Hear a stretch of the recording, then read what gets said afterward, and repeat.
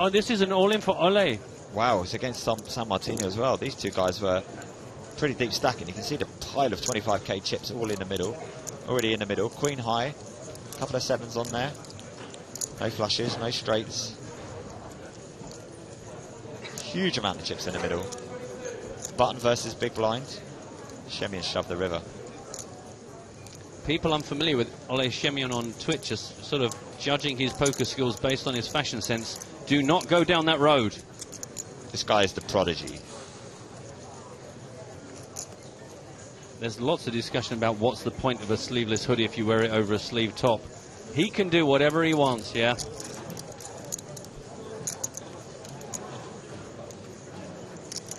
Just been knocked off the top spot of the GPI rankings for the first time in over a year, I think.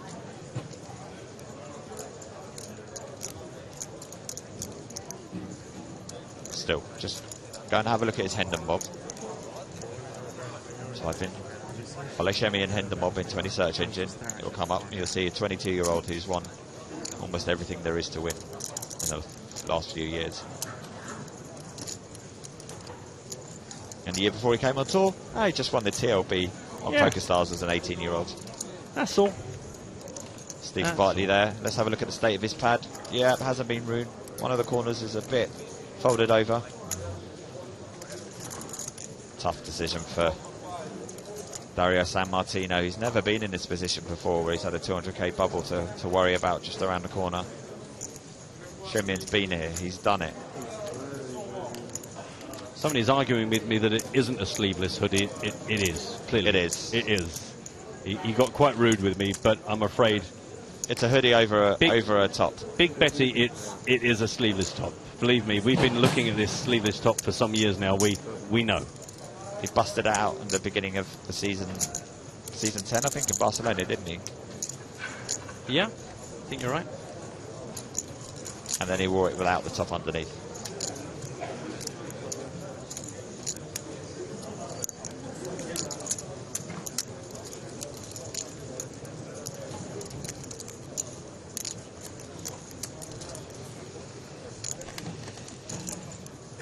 I don't think staring at the side of his face is going to give you much information.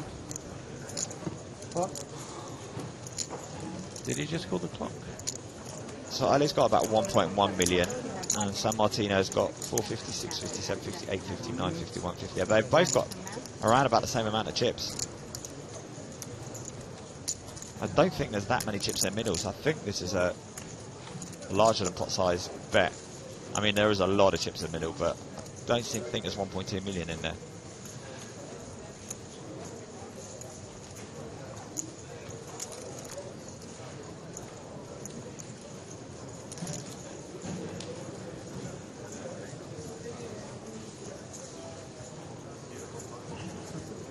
Thirty seconds.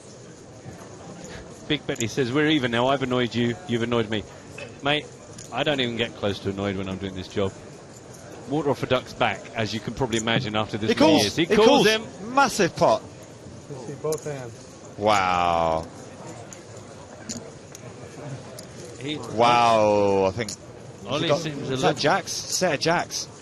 Wow, and Ollie really seems stunned by how long it took him to call yeah, that. he's saying it's a nit roll, but this is you got to remember this is a 200,000 euro bubble. Dario's never been in this position before.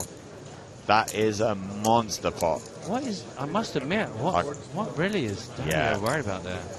He's only losing to pocket queens, right? Oh, Pocket pocket, sevens. sevens. and pocket queens. 75, Ah.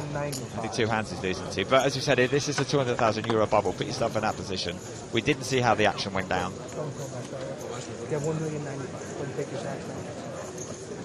It's better to take your time and make sure. If this was a 50 pound or 50 euro tournament, then I think yeah, that's a proper nit roll. But wow. Ollie, but you can understand Ollie still being upset. Especially when you've you've had to call the clock on someone to call with their monster. Just a boat, just uh, jacks full of sevens. Yeah, Matt's asking what are they saying. We don't have the players at the outer table wiped up. 1 million. We're not sure, but I think you can guess the have 1 million sentiment. 95. One million and ninety-five thousand. just under 1.1 million. Schemion is absolutely decimated. Wow. A lot of reaction to that on the uh, the Twitch. Everyone's screaming about the slow roll.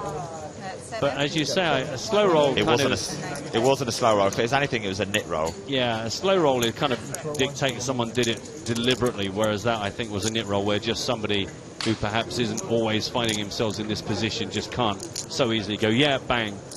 Certainly got to be a bit paranoid to, to be particularly worried about it. But I guess the Queen's fall, it's it's one hand you could worry about, but it is only one hand you could worry about.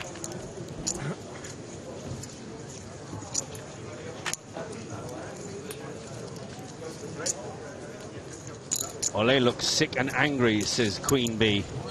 I think that's a fair description.